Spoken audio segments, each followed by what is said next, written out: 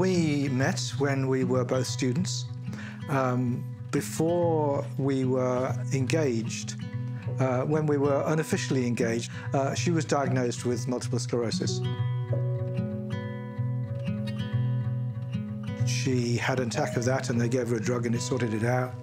And she had another one a year later and that sorted that out. Um, and one of the things that was influential for me was his saying that although it was clear from the notes and so on that she had had an attack uh, of MS, um, he couldn't find any evidence of in her, in her body.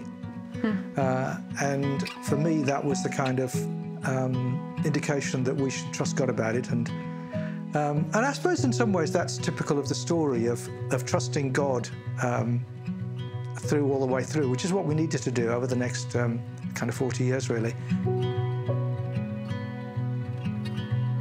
She got gradually uh, more and more disabled.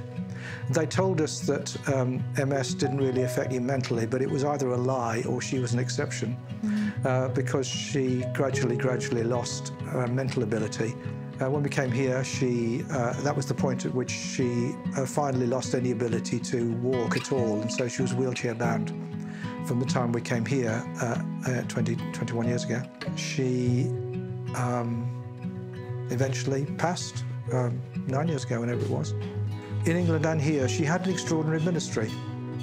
Uh, and, and it was somehow her incapacity she, that, um, that witnessed to people, that ministered to people, that raised questions for people. People came to her, people, people were attracted to her. Um, people came and wanted to sit with her, sit quiet with her. She enabled them to, to see that simply being and not doing didn't mean you weren't human, didn't mean you weren't a person.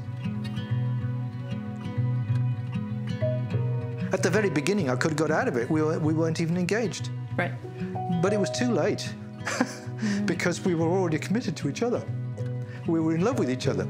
To give up on that would have been not to be me, to deny myself in a bad way, in a bad sense, mm. uh, to yeah, to deny the reality, um, to go back on, on, on, on, on being me. Because I'd fallen in love with her and I'd made a commitment to her. I think you, have said this and, and, written something like this also, that you would be a very different person mm. if you hadn't been married to Anne. Can you think of, can you name some of those things that you suspect would have been quite different for you? Well, I dare say it, it, it is the case that for me, writing is resourcing.